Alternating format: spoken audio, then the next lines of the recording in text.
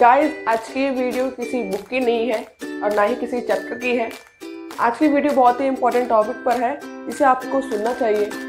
हमारे देश में हिजाब को लेकर सपोर्ट में बोला जा रहा है कि स्कूल्स और कॉलेजेस में हिजाब अलाउड होना चाहिए। इस बात को लेकर हमारे देश में आंदोलन है। वहीं दूसरी तरफ़ ईरान में प्रोटेस्ट हो रहा है हिजाब को लेकर कि जो हिजाब है, वो वुमेन्स के लिए चॉइस होनी चाहिए। कि उनकी मर्ज़ी हो पहनना तो वो पहने। और ना मर्ज़ी हो तो ना पहने। लेकिन भारत में स्कूल्स और कॉलेजेस में ये हो रहा है कि वो अगर पढ़ने जाएँगी, वहाँ की छात्राएँ तो वो हिजाब पहन कर ही जाएँगी, वरना नहीं जाएँगी। अगर उन्हें हिजाब नहीं पहनने दिया जाएगा तो वो एग्ज़ाम नहीं देंगी। यानी कि हिजाब नहीं तो एग्ज़ाम भी नहीं। इसके अलावा अब ईरान में जो प्रोटेस्ट हो रहा है, उसकी कहानी शुरू होती है तेरह सितंबर को। तेरह सितंबर को जो महसा अमीनी है, बाईस साल की एक लड़की है जो कि तेहरान में अपनी फैमिली के साथ घूमने जाती है और वहाँ पर वो हिजाब थोड़ा सही से नहीं पहनती है, या फिर उनके बाल थोड़े आगे आ रहे होते हैं, जिसकी वजह से वहाँ की मॉरल पुलिस उन्हें कस्टडी में ले लेती है तेरह सितंबर को।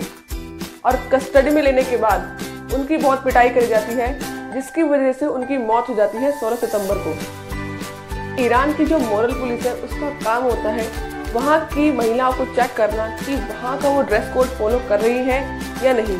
अब ये सब शुरू होता है 1979 से, जब ईरान जो है एक इस्लामिक रिपब्लिक बन जाता है under the rule of Ayatollah Khomeini अब 1982 में उसको एक सरकारी आदेश बना दिया जाता है और 1983 में वहाँ की संसद उसे एक हिजाब कानून बना देती है।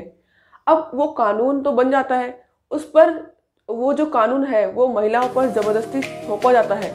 एक आयतुल्ला जो खुमैनी थे, वो ही एक कट्टरपंथी इस्लामिक थे जो कि वो हिजाब को लेकर महिलाओं पर ज़बरदस्ती ठोकते थे और वहाँ पर उन्हें, उन्होंने इसको एक रूल बना दिया था, जिसकी वजह से वहाँ पर महिलाओं को इसे फॉलो करना होता था। अब वहाँ के रूलर ने उनको ज़बरदस्ती महिलाओं पर ठोक तो दिया, लेकिन समय बदला, समय का चक्र घुमा।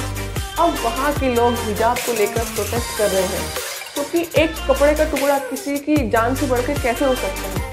कि उस हिजाब के लिए हम किसी महिला की जान कैसे ले सकते हैं? अब यही सोच वहाँ के इस्लामी जो कट्टरपंथी है, उनमें देखने को मिलती है।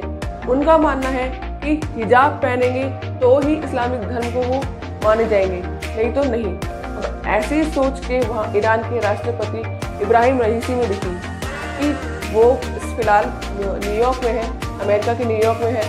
वहाँ पर उनका इंटरव्यू था न्यूयॉर्क में। अब जो इंटरव्यूअर थी, वो महिला थी।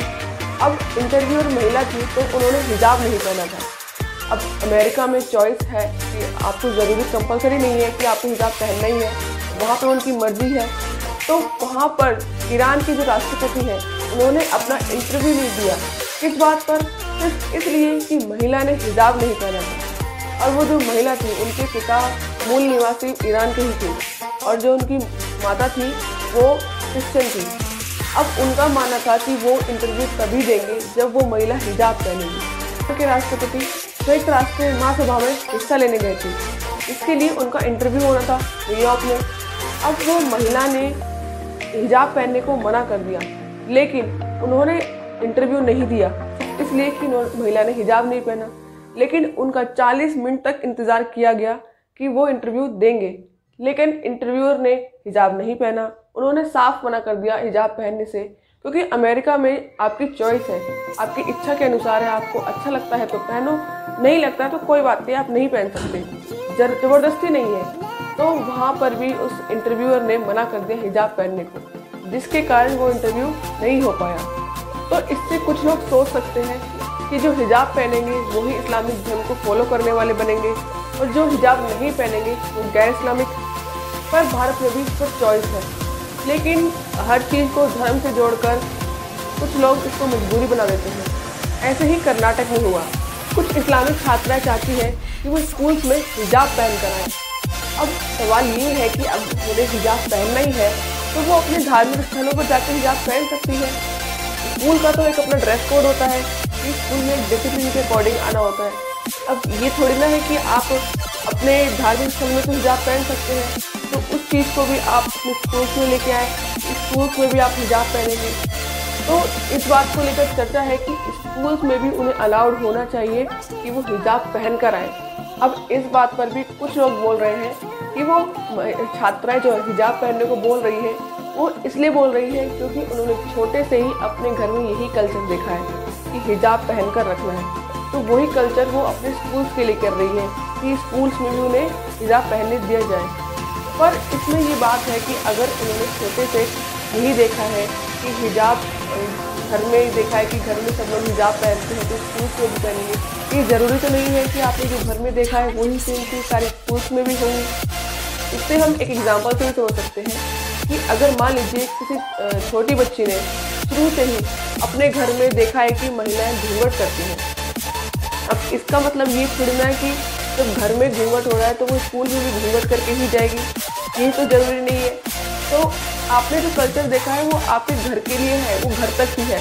ये नहीं है कि आप उसे स्कूल्स में भी करेंगे कि स्कूल्स में भी आप हिजाब पहनेंगे या फिर स्कूल्स में आप घूंघट करके आएँगे। वो कल्चर सिर्फ़ आपके घर का है। घर का कल्चर अलग होता है और स्कूल का अलग। स्कूल में आप एक यूनिफॉर्म में आते हैं, जिसकी सबकी सेम होती है। उसमें ऐसा कोई भी अलग नहीं होता। तो वो एक अलग चीज़ है स्कूल की और घर की एक अलग चीज़ है। अब हिजाब बैन होना चाहिए या नहीं, ये फैसला सुप्रीम कोर्ट में सुरक्षित रखा गया है और इस पर 16 अक्टूबर तक फैसला आ भी जाएगा। आशा करती हूँ आज की वीडियो अच्छी लगी होगी।